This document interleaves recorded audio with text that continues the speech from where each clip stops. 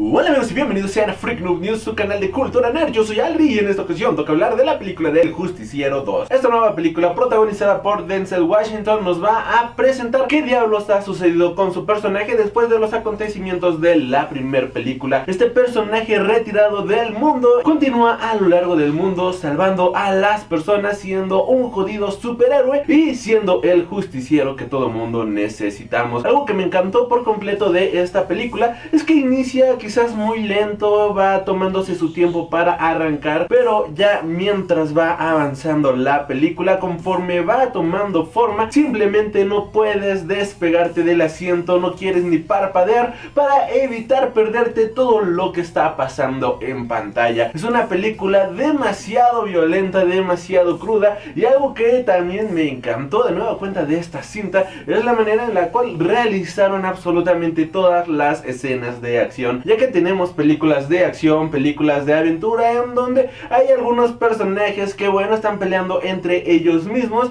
pero tú no sientes los golpes y es bastante obvio que son simples coreografías. Aquí, aunque bueno, también es una coreografía, sientes los golpes, sientes la pesadez de los puños y sobre todo te duelen. A la hora de que alguien se está peleando con alguien, sientes el dolor de esa persona, puedes sentir su sufrimiento, puedes sentir cómo está sufriendo ese personaje personaje y dices, wow, no me gustaría estar en sus zapatos. Visualmente la película es espectacular, el diseño sonoro de toda la película es muy bueno, le incrementa un realismo increíble y aunque puedan llegar a exagerar ciertas situaciones, no te molesten lo más mínimo porque ayuda a este sentimiento de dolor, a este sentimiento o a esta pesadez que tiene cada una de las escenas, lo cual se agradece bastante. En sí, la historia termina siendo un poco cliché, este personaje que está retirado pero que regresa cada cierto tiempo a impartir justicia tal como lo hace John Wick, tal como tenemos algunos otros personajes. Bueno, esta película mantiene la misma trama, pero tiene su propio sello original y Denzel Washington nos demuestra que puede tener los años que tenga, él va a seguir siendo un jodido superhéroe de acción mega badass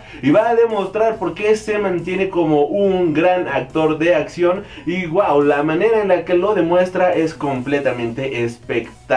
Algo que quizás pueda terminar siendo un poco molesto viene siendo que de cierta manera la película es un tanto predecible. La película como bien mencionaba tiene sus clichés bastante marcados. Pero aquí todo se resuelve, todo termina sin importarte porque la manera en la cual lo van desarrollando es muy buena, es muy orgánica y sobre todo con un sello de originalidad, con un sello tan marcado que puedes distinguir de entre todas las películas la película del justiciero. Está a la altura de la película de Atomic Blonde, está a la altura de las películas de John Wick, e incluso a la altura de películas como Deadpool, por decirlo de cierta manera. Este tipo de películas que son de mercenarios, de justicieros, que tienen una gran historia y sobre todo que te mantienen entretenido en la pantalla, te mantienen completamente entretenido en la sala del cine y no quieres despegarte para, como bien mencionaba, no perderte nada de lo que está ocurriendo en la pantalla. Y bueno, si tuviera que darle una calificación, le doy un muy buen merecido 9.5 sobre 10 porque fue una excelente sorpresa. Es una película que quizás no esperaba, pero que